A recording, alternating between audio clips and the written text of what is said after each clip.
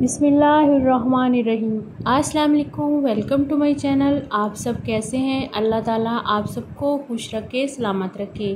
अफादियत से भरपूर गर्मियों में पाया जाने वाला छोटा सा फल, जो बेपना खसूसियत का हामिल है जामन। आज हम जामन की अफादियत के बारे में बात करेंगे। जामन हमारे जिसम में खून की कमी को पूरा करता है। जामन में विटामिन सी और आयरन हमारे जिसम में हीमोग्लोबिन की मकदार को बढ़ाता है।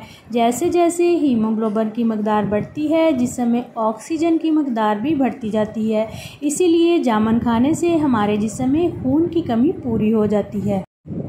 ऐसे अफराद जो अपने जिसमानी वज़न में कमी करना चाहते हैं, उन्हें जामन ज़रूर खाना चाहिए, क्योंकि जामन में कैलोरीज और फाइबर ज़्यादा मकदार में नहीं पाया जाता। इसको खाने के बाद भूख का एहसास कम होता है। इसलिए इसमें मौजूद विटामिन सी, आयरन फास्फोरस और मैग्नीशियम हमारे जिसम को सेहतमंद रखने के साथ साथ वज़न में कमी भी करते हैं।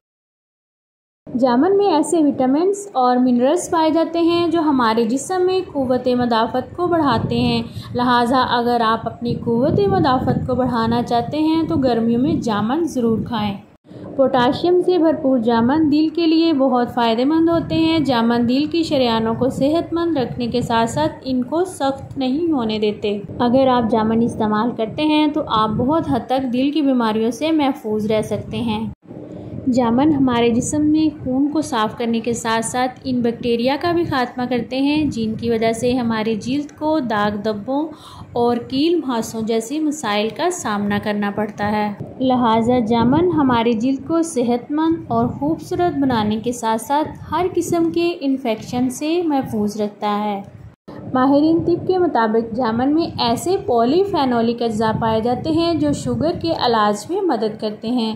जामन में कैलोरीज कम मकदार में पाई जाती है, इसलिए ऐसे अफराद जो शुगर के मरीज़ हैं, वो जामन ज़रूर खाएँ। ऐसे अफराद जो मैदे की तजाबियत, बदहज़मी और अल्सर के मर्ज़ में मुबतला हूँ, इन्हें जामन ज़रूर इस्तेमाल करने चाहिए। क्योंकि इनमें मौजूद विटामिन सी और विटामिन ए जिसम को डिटॉक्सीफाई करके निज़ाम हाजमा को बेहतर करने के साथ साथ मैदे के तमाम मसाइल को हल करते हैं। जामन आपके मसूड़ों से खून बहने और इन्फेक्शन को रोकते हैं और दांतों और मसूड़ों को मज़बूत बनाते हैं। क्योंकि जामन में एंटीबैक्टीरियल एंटी इन्फेक्शन और एंटी मलेरिया खसूसियात पाई जाती हैं, ये फल आम इन्फेक्शन की रोकथाम करता है। जामन में मौजूद विटामिन ए विटामिन ई और ऐसे एंटीऑक्सीडेंट्स पाए जाते हैं, जो जल्द की झुरियों का मौसर तरीके से इलाज करने में मदद करते हैं।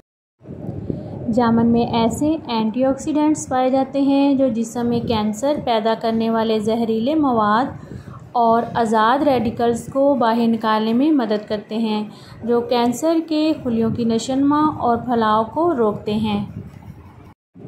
ये तो थे जामन के फ़वाद अब हम बात करेंगे कि एक फ़र्द को दिन में कितनी मकदार में जामन खाने चाहिए।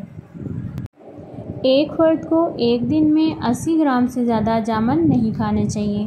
खाने से पहले इसे अच्छी तरह धो लें और इस पर काला नमक छिड़क कर मिक्स कर लें और बाद में खाएँ।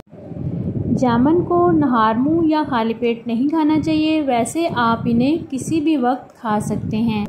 जामुन खाने के बाद दूध हरगिज़ नहीं पीना चाहिए, क्योंकि ऐसा करने से आपकी सेहत के लिए नुकसानदेह हो सकता है।